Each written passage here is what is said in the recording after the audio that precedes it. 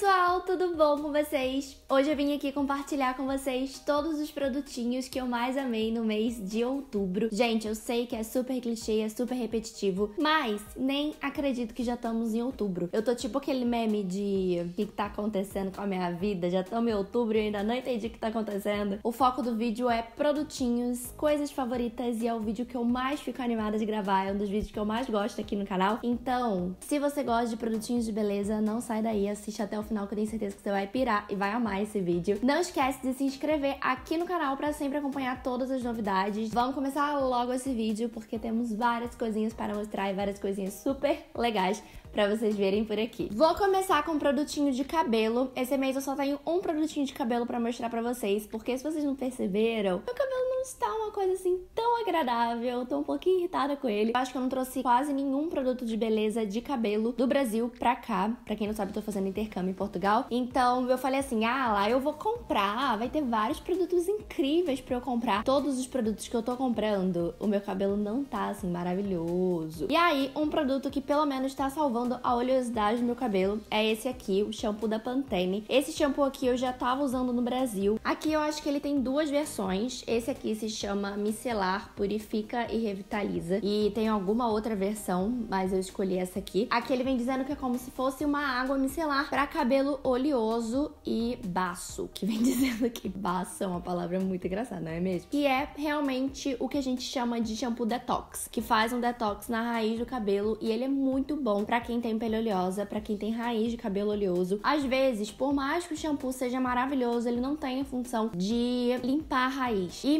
mesmo que ele tenha a função de tirar a oleosidade, eu sinto que às vezes esses shampoos assim, eles estragam muito a ponta, resseca muito a ponta. E eu tenho uma certa dificuldade porque minha raiz é oleosa, mas a minha ponta não é. Então, os shampoos que são específicos para raiz oleosa não funcionam comigo e depois quando eu passo o shampoo eu sinto que o efeito é muito melhor, sabe? Realmente meu cabelo não fica oleoso. Aí, continuando com produtinhos de beleza, vou passar pra perfume. Eu fiz um vídeo aqui mostrando no canal os meus perfumes favoritos do momento. vou deixar linkado aqui pra se você não viu. E esse perfume aqui é o que eu tô mais usando. Ele é o Lady Million na versão Privé ou Privé. Não sei falar o nome do perfume, mas tudo bem, vocês já estão acostumados por aqui. E ele é muito cheirosinho, gente. Ele é muito gostoso. É um perfume super clássico, mas essa versão aqui ela é um pouquinho diferente. Não foge tanto da versão do Lady Million, que também é maravilhoso. Eu acho que eu gostei mais desse porque ele é realmente um pouquinho mais doce do que o outro. Outro produto que foi favorito desse mês foi esse batom que eu tô usando. Vocês perguntaram quando eu postei foto e tudo mais. E é esse batom aqui da MAC. Só que esse aqui, no caso da minha mãe, eu roubei e estou amando. E esse aqui, o nome dele é Persistence. Ele é lindo, é um batom marrom e um marrom assim mais escurinho, sabe? Deixa eu fazer uns swatch pra vocês.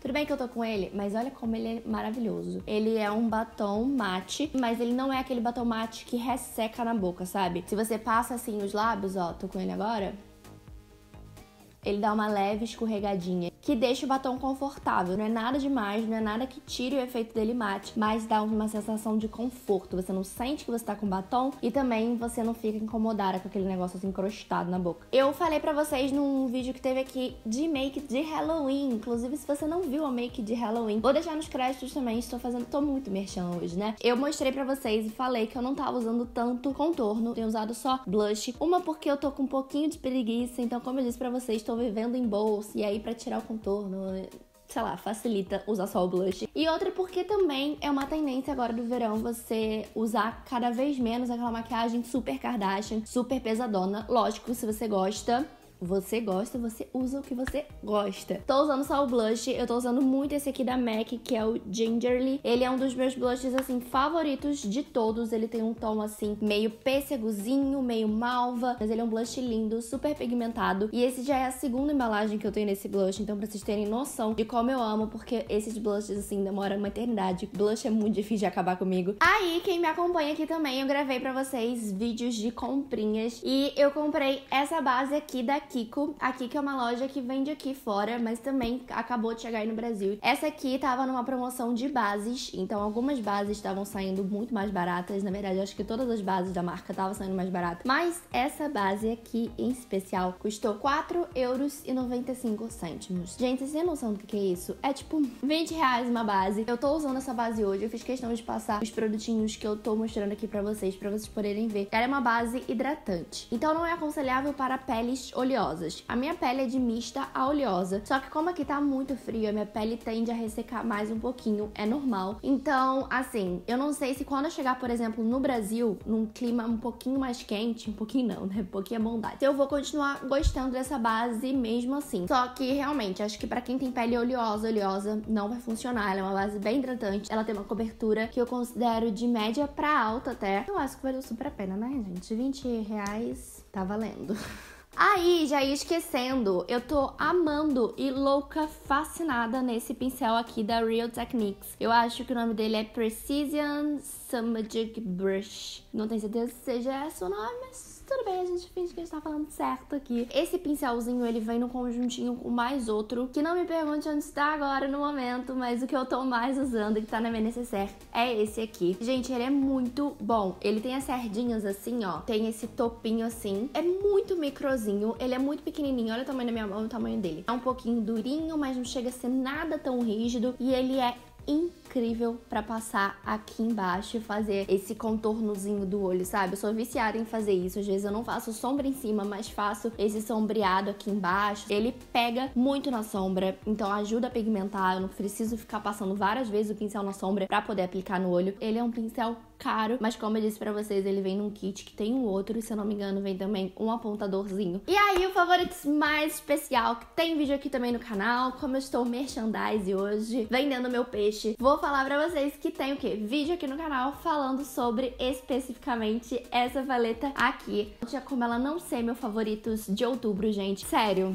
ela é a coisa mais maravilhosa do mundo. Eu acho que quem me acompanha aqui já tá um pouquinho cansado de eu falar dessa paleta, mas ela é linda, ela tem tons quentes que é super a cara do verão. E olha, ela combina muito com batom, então eu tô amando usar todos esses tons, mais esse batom é tipo maquiagem coringa, minha maquiagem do momento. Vou pra um produtinho, uma coisa de o quê? Comida! Porque comida é a melhor coisa do mundo, gente. Tem coisa melhor do que comer? Não tem, né? Eu sou desse tipo de pessoa que eu quando eu não tenho nada pra fazer, eu faço o quê? Como. Inclusive, não está tão legal porque aqui é frio. E frio, eu quero fazer o quê? Comer. Tô amando esse biscoito, eu tô, tipo, viciada. Gente, eu sei que ele não é saudável, mas não precisa, não, não precisa me decepcionar, entendeu? Deixa eu pensar que ele é. Que aqui vem dizendo o quê? Pra café da manhã, entendeu? Cinco cereais completos. Ele é Belvita. Belvita não está me pagando, mas se quiser pode me pagar. Que eu tô o quê? Gastando todo o meu dinheiro nesses biscoitinhos. E vem nessa caixona assim, seis pacotinhos assim, com quatro biscoitinhos dentro. Esse aqui é no sabor de leite. E ele lembra super aquele biscoitinho da vaquinha, sabe? Que eu amava. Sei que isso aqui não é a melhor opção, mas eu ainda não tô encontrando produtos assim que sejam saudáveis, que eu consiga ficar transportando com facilidade. Porque algumas frutas, por exemplo, estragam super rápidas aqui. Estou nessa busca aí, mas por enquanto ele é meu favorito de comida, porque estou amando.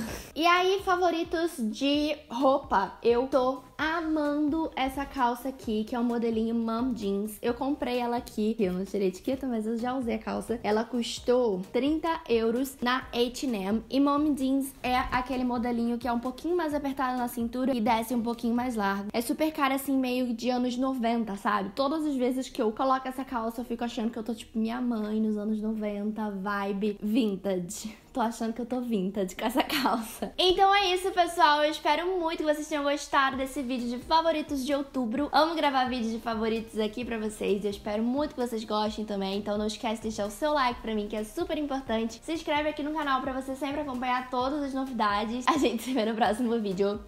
Até lá!